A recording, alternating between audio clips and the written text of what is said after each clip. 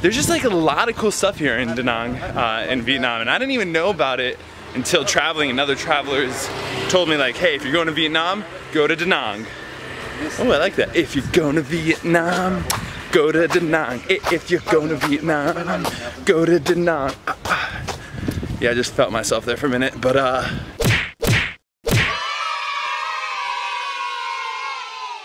Good morning everyone. Coming at you not so live right now, but sometime in the near future you're watching this. And we're in Da Nang, Vietnam right now, Woo. where we're uh, currently staying with my buddy Yui, his uncle and grandma right there. And then that's him and his mother. My mom and mom. um, and they have been so gracious to allow us to stay here in Da Nang with them for the weekend. So uh, this is Da Nang. Look at their shoes. Hi. Alright, we got some Vietnamese breakfast. We're near the beach, this is beautiful! So took a little pit stop at the beach. This is a beautiful place. I think we're gonna maybe come back here, hang out another day. For right now, we're having a good time. so join us. what are we doing now? We're we're not we're not doing anything right now. Well, we're going we're going back to Aiden's place um, to relax because we're obviously always doing crazy stuff, so we're tired. Stop being so lazy. That's all right. Back at Aiden's place.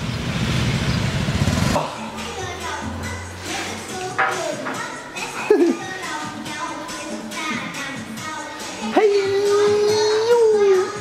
Yeah, what'd you get here, Mitch? Uh, it's honestly it's spaghetti with something else on it. I don't know what what this part is.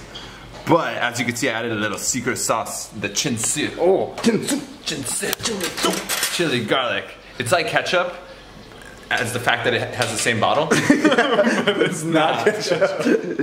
uh, nice demonstration of how to use it. Pour it slightly in circles and round motions, and then all over the edge with little dots. you, you should be like a chin su model. Yeah. Can you model this for us? No. Oh. Here. oh, beautiful. Now, like. See, see. Oh. Now rub your hand like around it in a circle. No. Can you get really close to your face for this one? Just like watching your mouth. Suck oh. up. Good, good job. you bit your lip? Remember that time where you bit your cheek like five times in two in days? one day. And then, yeah. I'll be honest, I watched an episode of The Office, and friend of you who watched The Office, you know that episode where Jim bites his lip. Our three point shooting? Don't even. I bit my lip at lunch today. Like five times, and he's like, "It's okay, I won't bite." And then he bites it again, and he freaks out. It's not a big deal. You know, I always tell my three-year-old, if this is the worst thing that's gonna happen, you gotta be kidding me. Okay, Pam, that's it. I'm going home.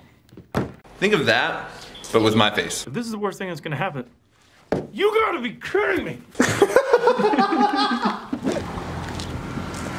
Grizzly Steve is on a very important phone call. This kind of sounds like a business phone call, kind of boring if you ask me. But we're going to a coffee shop right now to get some things done. And I'm just walking hoping that Steve understands where we're going. Uh, but we're here in Da Nang and some fun facts about Da Nang just so uh, you kind of get the culture and the information needed in this cool video that Steve's making is Da Nang 1 has roads. As you can see, people, we use roads here.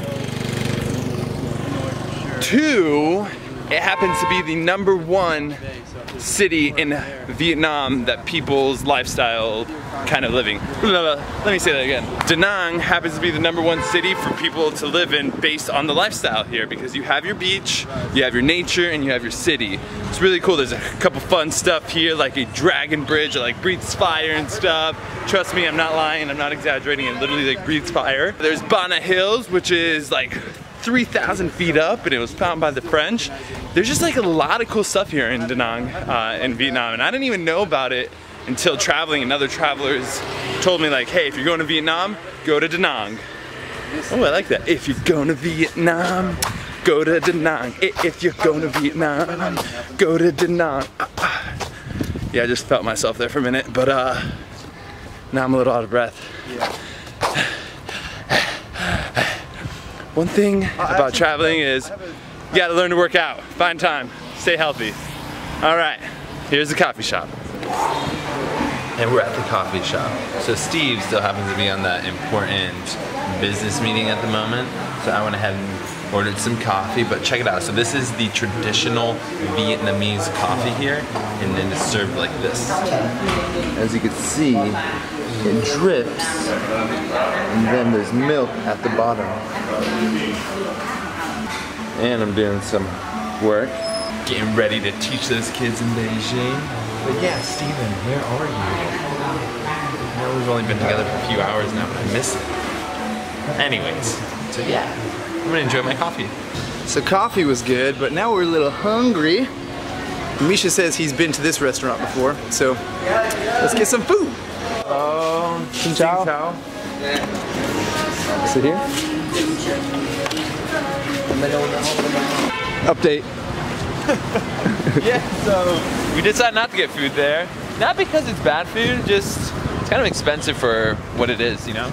We're gonna go get some Indian food. Indian food! Yay, hello. Hello. Smells good. Hello. Reminds me of my good old days in India. Wow, private little room.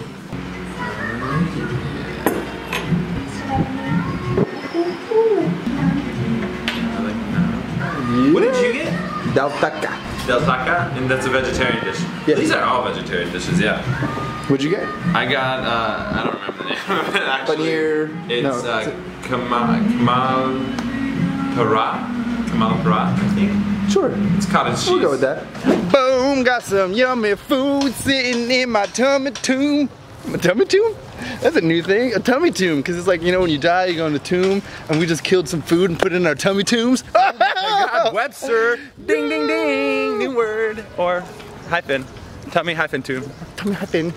Now Misha has to go teach some kitties. Yes, time to teach the Beijingers a little bit of the English language. Beijingers. But they're really cool. Like these kids, they're like between five and twelve, and like one kid like makes me laugh because he knows the right answer, but he always gives me the wrong one. And Easton, I'm coming for you, bro. Today, I got some jokes for you. Eason. Yeah, a lot of them have cool names like Eason. There's a Joey. I have a Joey. Uh, who else do I have? I have a. Uh, I have. Uh, damn, I can't really think of any. I just know Joey and Easton right now. What a good teacher. Oh, I have a Yichen. I have a Yichen, which is a like not common. It's like Yamen, but Yichen. Um, there's this one really cute girl. Like she's like five years old. She has the chubbiest cheeks, and her name is Alyssa. Alyssa, I think. Alyssa? But she's so cute. Like some of these kids are. I just love kids. I'm gonna go edit some video. Misha's gonna teach the Beijingers, and we'll see you in a little bit.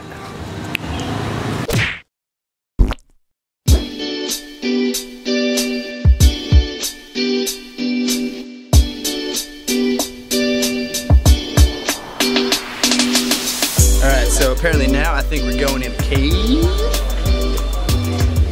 I like caves. Safety Steve here, just making sure everyone's full of care.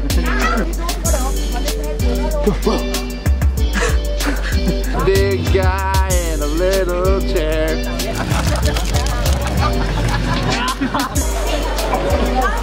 it's not like terrorizing. Godzilla!